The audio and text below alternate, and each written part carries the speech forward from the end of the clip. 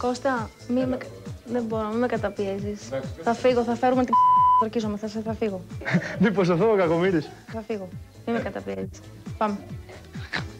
Καλημέρα, καλώς ήρθατε στο Megastar. Σήμερα 28 Οκτωβρίου έχουμε για εσάς...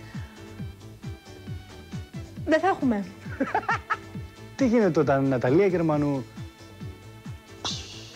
Στο νούμερο 6. μ, Μπα. Καλά, άλλαξε μου το μόνο, σκιάζομαι. Η Μίγα δεν φάνηκε;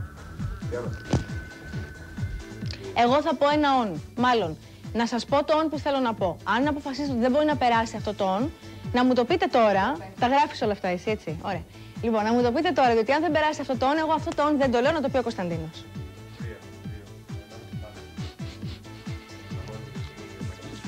Ο Λευτέρης Πανταζής πρόσφατα... μ, Για πάμε άλλη μία παρακαλώ.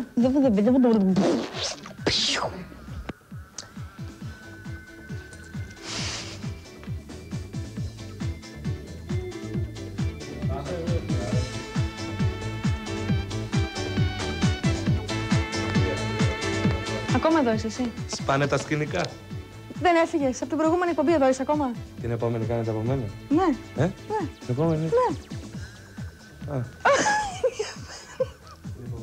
Κώστα, άμα φας πέντε χαστούκια, πώς θα νιώσεις; Κρυώνω σου λέω. Αν είστε μπλοκαρισμένοι, πιεσμένοι, ανίκανοι για να ανταπεξέλθετε, Θέλω κάθε φορά που θα τελειώνω μια ατάκα να χειροκροτάτε. Την έχω δει σήμερα. Τέσσερα νεαρά αγόρια αποτελούν το συγκρότημα de facto. Ο Κωνσταντίνος μίλησε μαζί τους και θα σας τους συστήσει αμέσως τώρα.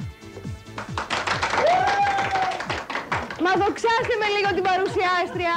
Ένα μεροκάματο να μην το βγάλω με λίγη. Δόξα.